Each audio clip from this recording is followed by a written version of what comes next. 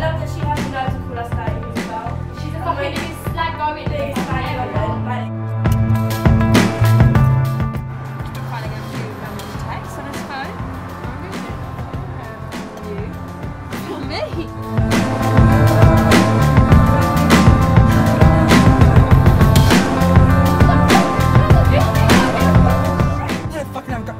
only not have a fucking diary in her car.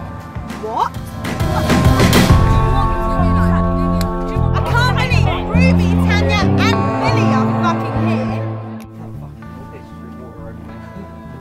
Not funny. Your fault.